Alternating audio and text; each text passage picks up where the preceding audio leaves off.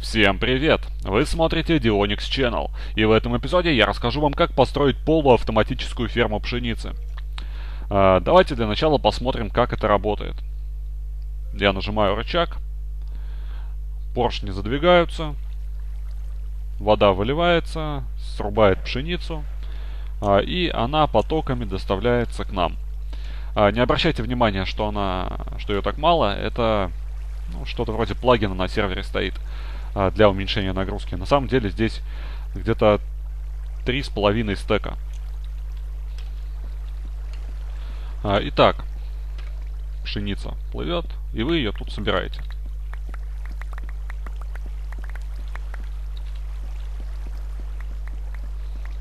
После того, как собрали, нажимаете на рычаг, нажимаете на рычаг,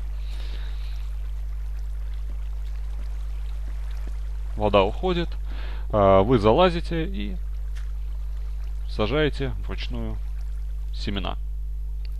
А, это единственное, что не получилось и не получится автоматизировать без сторонних модов. А, а теперь перейдем непосредственно к постройке. Итак, приступим к постройке. Первый уровень будет длиной 8 блоков и шириной 4 блока. Раз, два, три, четыре, пять, шесть, семь, восемь. И ширина 4.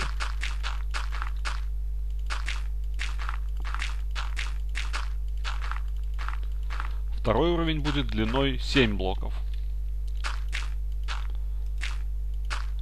Так, 2, 3, 4, 5, 6, 7.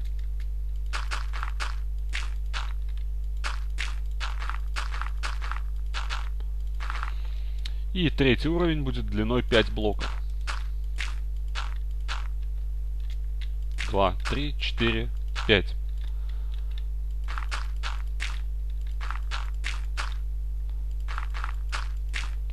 Итак, сегмент готов. Вы можете добавлять еще рядом такие же сегменты, а, подключать их вместе, то есть все это я оставляю на вас. А, сколько вам нужно пшеницы, столько и выращиваете. Единственное, что вас ограничивает это мощность вашего компьютера, поскольку при большом количестве семян и пшеницы слабые компьютеры будут глючить. Да и, собственно, сильные тоже будут подтормаживать. А теперь подключаем сразу поршни. Ставите поршни вот на эти блоки. Под поршнями ставите любые твердые блоки и на них помещаете красные факелы. Так, и рядом с ними ставите повторители. Вот таким вот образом. После чего от повторителей проводите сигнал прямо вдоль сегмента, то есть вдоль стеночки, проводите сигнал до вашего рычага.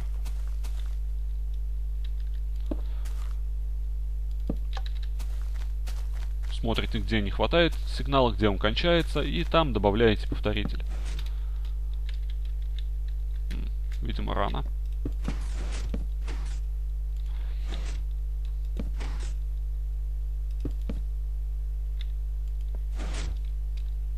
Угу, отлично.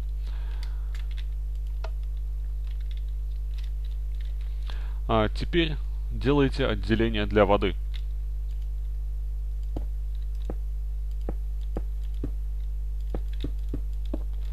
Делается оно за открытой частью поршней.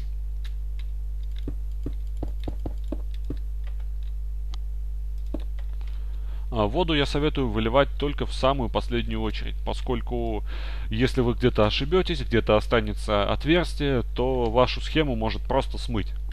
А переделывать это работа не из приятных. А, итак, теперь нам нужно поставить освещение и провести воду для нашей пшеницы. А вот здесь у вас, например, будет стенка. К сожалению, у меня ее нет. Было бы проще показывать. Ну, если вы будете строить где-нибудь в чистом поле, то делайте вот так вот. То есть оно должно идти вровень с уровнями. И делаете пол. Вода будет находиться вот здесь. Вот на вот этом блоке. А теперь здесь, не доходя одного блока до конца уровня, ставите, например, блок земли. А далее спускаетесь, идете дальше и ставите, опять также не доходя одного блока, ставите еще блок земли. А это нужно, чтобы закрыть воду и также redstone. Так, и с этой стороны ставите светящийся камень. Светящийся камень тут, светящийся камень здесь, тут и выливаете воду. Видите, вода протекает под камнем и ей ничего не препятствует. Теперь закрываете все это дело полублоками. Вот таким вот образом. А, таким образом вы сможете спокойно ходить, то есть вам ничего не мешает. Э, и выглядит все довольно красиво.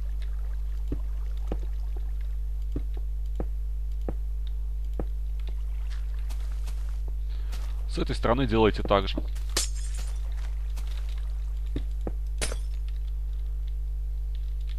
Так, и можно где-нибудь вот тут еще добавить светокамень.